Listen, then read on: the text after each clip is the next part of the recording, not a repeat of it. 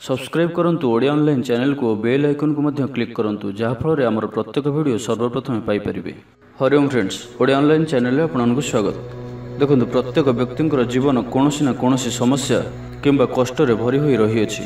କାହାର ଜୀବନରେ ଧନର ଅଭାବ ରହିଅଛି ତ କାହାର ସ୍ୱାସ୍ଥ୍ୟର କୌଣସି ସମସ୍ୟା ରହିଅଛି। ତ ଏହି ସମସ୍ତ ସମସ୍ୟାମାନଙ୍କର ସମାଧାନ କେବଳ ଭଗବାନଙ୍କ ପାଖରେ ହିଁ ରହିଥାଏ। ପ୍ରାୟତଃ ଏପରି ଦେଖାଯାଏ କି ଆମେ ବହୁତ ଅଧିକ ପରିଶ୍ରମ ତ କରିଥାଉ କିନ୍ତୁ ତଥାପି ଆମକୁ ମନ ମୁତାବକ ଫଳ ମିଳିନଥାଏ। ଯଦି ଈଶ୍ୱରଙ୍କର ପୂର୍ଣ୍ଣ କୃପା ଆମ ଉପରେ ରହିଥାଏ ତ କୌଣସି ବି ଫଳ ପ୍ରାପ୍ତ କରିବା କଷ୍ଟକର ହୋଇନଥାଏ।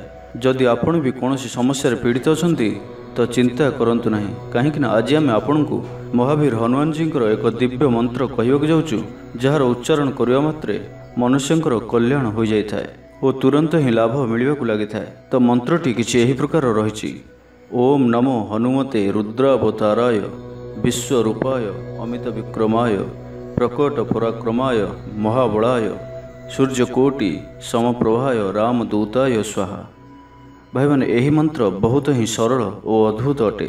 ଏଥିପାଇଁ ଆପଣଙ୍କୁ ଶନିବାର ଦିନ କିମ୍ବା କୌଣସି ବି ଦିନ ସ୍ନାନ କରିବା ପରେ ସିନ୍ଦୁର ଫୁଲ ଅର୍ପଣ କରି ଧୂପ ଓ ଦୀପ ଜଳାଇ ଏକ ନାଲି ରଙ୍ଗର ଆସନରେ ବସିବାର ଅଛି।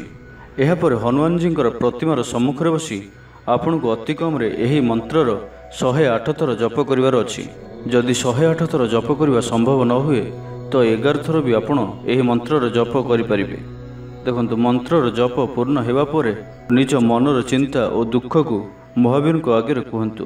ଏହା ଆପଣ ମନେ ମନେ ହିଁ କହିବେ। କେବଳ ମାତ୍ର କିଛି ଦିନ ଭିତରେ ହିଁ ଆପଣଙ୍କୁ ଦିବ୍ୟ ପରିଣାମ ଦେଖିବାକୁ ମିଳିବ। କିନ୍ତୁ ଧ୍ୟାନ ରଖନ୍ତୁ କି ମନ୍ତ୍ରର ଜପ ଯେତେ ଦିନ ପର୍ଯ୍ୟନ୍ତ ଆପଣ କରିବେ ଆପଣଙ୍କୁ ବିଶେଷ ଭାବରେ ବ୍ରହ୍ମଚର୍ଯ୍ୟର ପାଳନ କରିବା ଅନିବାର୍ଯ୍ୟ ଅଟେ।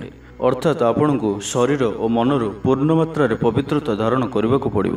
ତେବେ ଭିଡ଼ିଓଟି ଆପଣମାନଙ୍କୁ କିପରି ଲାଗିଲା ଯଦି ଭଲ ଲାଗିଥାଏ ଲାଇକ୍ଟେ କରନ୍ତୁ କମେଣ୍ଟ କରନ୍ତୁ ଏ ଭିଡ଼ିଓଟିକୁ ଆପଣଙ୍କ ଫ୍ରେଣ୍ଡସ୍ଙ୍କ ସହିତ ସେୟାର କରନ୍ତୁ ଏବଂ ଆମ ୟୁଟ୍ୟୁବ୍ ଚ୍ୟାନେଲ୍ ଓଡ଼ିଆ ଅନଲାଇନ୍କୁ ଯଦି ଆପଣମାନେ ପର୍ଯ୍ୟନ୍ତ ସବସ୍କ୍ରାଇବ୍ କରିନାହାନ୍ତି ସବସ୍କ୍ରାଇବ୍ କରିନିଅନ୍ତୁ। ଧନ୍ୟବାଦ।